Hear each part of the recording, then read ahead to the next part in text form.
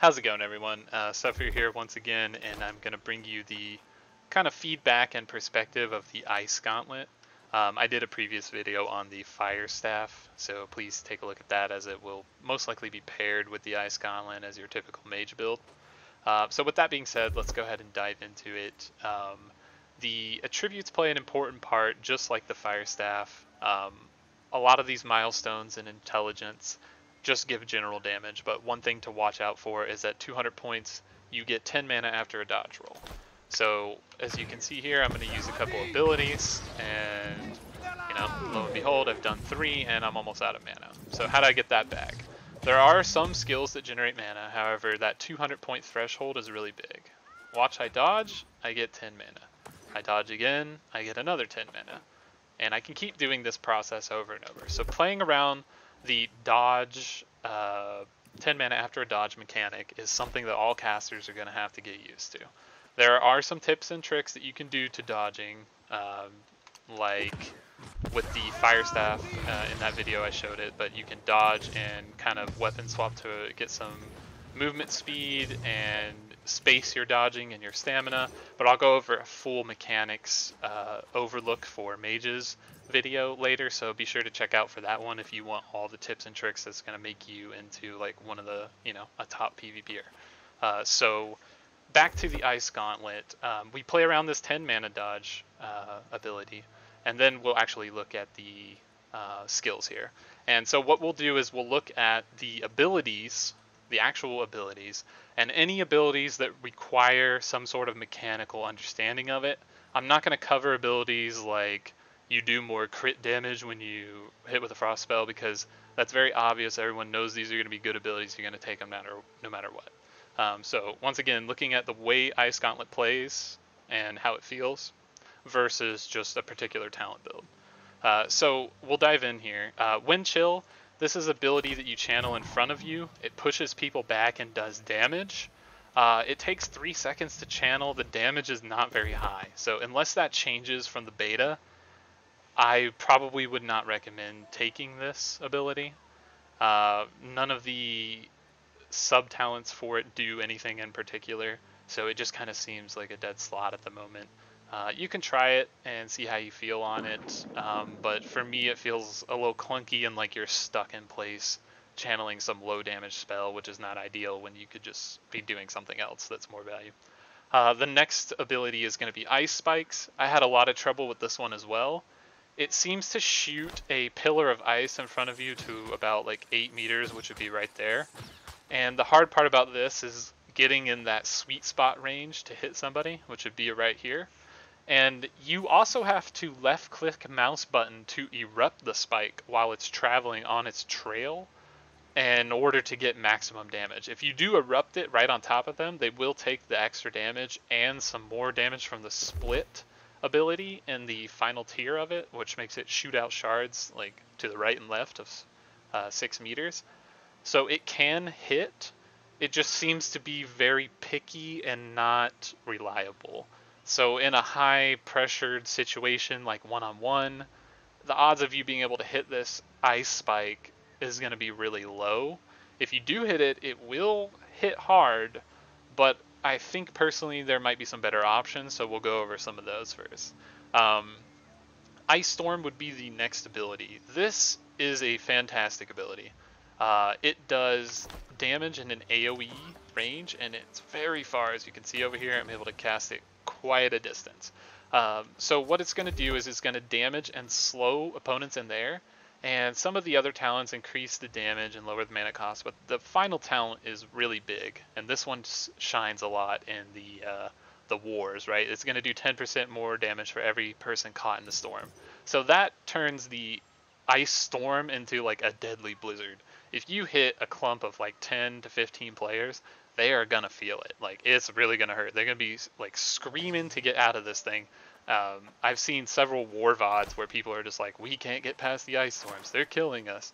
It does so much damage. Like it's crazy. So uh, people that are clumped up and you can punish enemies that are, you know, well, we'll call them not as experienced. You know, if they're setting in a pile of 15, 20, that's kind of on them, and it really shreds and punishes that. Uh, so great ability there. I would highly recommend that one. Uh, the other ability on the right side tree, this is going to be the builder tree, Ice Shower seems to have a lot of practical uses. Uh, so it's going to put a small wall of ice in front of you that when people pass through it with some of the other talents, they're going to get movement speed. It's going to last longer. It's going to reduce the armor of enemies that pass through it. Uh, any enemy that goes through this will get slowed and rooted for one second. Uh, so when they are rooted, it will actually stop their charge animation. So for example, if I were to burn out into a frost wall or the ice shower, I would actually get rooted in place where that shower was and stop the momentum of my charge. So this is good to keep in mind.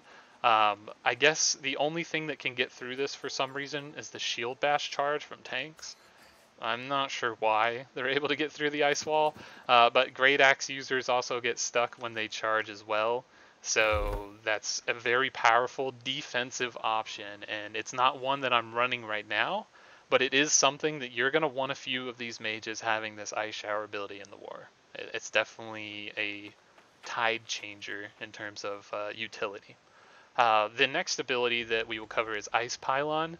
And this ability is fun. I did not like it at first, um, but the more I played with it, the uh, the better it got for me, especially in small skirmishes and 1v1s. Um, so you can read the basic abilities on it, but it essentially is a turret that shoots. Uh, when it shoots, there are a few mechanics for it. Uh, the main one is when you dodge, uh, when you're at full stamina, your pylon is going to get faster attack speed, so he is going to do a lot more damage. Uh, the other one would be the duration of it is increased, so whenever it hits a shot, so when it's up and shooting, it takes a very long time for it to go away. So theoretically, if the pylon is shooting something, it will be there almost permanently. There is some sort of hard timer that seems to be present. Like even if my pylon is shooting constantly, it does seem to run out eventually. I don't know why that is. It, theoretically, it should be up forever. It doesn't state that, but uh, regardless, just be aware that that is a thing. Um, but the uh, final talent in the builder tree would just increase the life of that pylon and the radius of the frost benefits you get from it. Um, there are talents increase your movement speed and mana regeneration while within those zones mana I didn't find to be too useful, but the movement speed really was. Um, but in addition to that, it doubles the health of the pylon, which makes it kind of tanky and hard for people to kill. So it's going to be a really powerful tool to just drop down, and in my opinion, enemies are forced to go and kill this thing.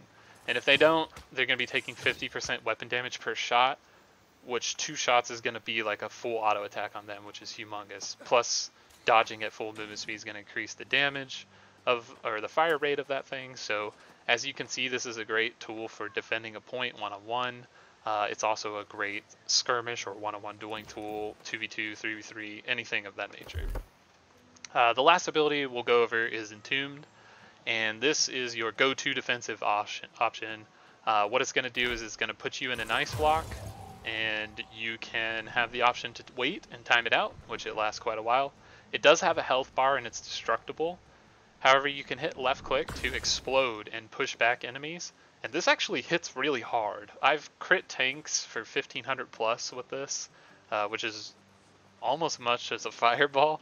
Uh, so exploding is really nice, and it also pushes people back, which allows you to dodge and then maybe burn out to a different area so that you can escape and kind of get some distance. Um, in addition to that, there's some ice talents um, in the tree, which you may have to play around mechanically which is every time you cast an ice ability, you're going to get Fortify. There's also that same ability on the Entomb when you break out, and Entomb will clear all your debuffs. This is a very important ability. When you're in a war, you're going to get poisoned and all kinds of sort of things. Tap Ice Block, and you're completely clear of all that. Not to mention in PvE, it did seem to get rid of a lot of mechanics, specifically in Lazarus uh, uh, Zone it kind of like negated some of the boss mechanics that would put big debuffs on you. You could just clear these off and kind of play the game however you wanted. Maybe that'll get fixed in the future, but we'll see for now. Um, but the only other thing to be aware of would be this uh, cooldowns when casting in a frost area. So ideally, if you are casting frost spells, you want to be on top of your pylon because if I do cast my ice shower while I'm standing in the pylon's frost, I will get lower cooldown on that. Uh, so that would be another mechanic that you may want to play around. Um, beyond that, there are some damage talents and things of that nature. Uh, this one was a very interesting one, Heavy Freeze. We tried it out. It seemed okay. Uh, so what it does is when someone's in an ice storm, if you auto attack them with a fully charged shot, they get rooted for one second. So it was like a mini ice shower. It seemed decent, but I don't know how much like application it actually has. From my experience, you tend to put out your pylon, throw out your ice storm and maybe ice block for damage, and then you're back into fire staff. Like I don't spend much time auto attacking or heavy attacking somebody with the ice gauntlet. Uh, so that's um, probably something of note. Ice Gauntlet seems to be like a cooldown only ability, whereas Fire Staff would be your main damage and auto attacker, um, as a lot of the abilities with Fire Staff tend to generate cooldown for you. Alright, well I hope everything there helps you see a little bit of the perspective of how the Ice Mage plays and what it wants to do. And uh, if you guys have any further questions, feel free to comment down below or ask anything, and I'll try to update these guides and builds along with some PvP related stuff as the game gets closer to launch. Thanks again, and see you guys in the next video.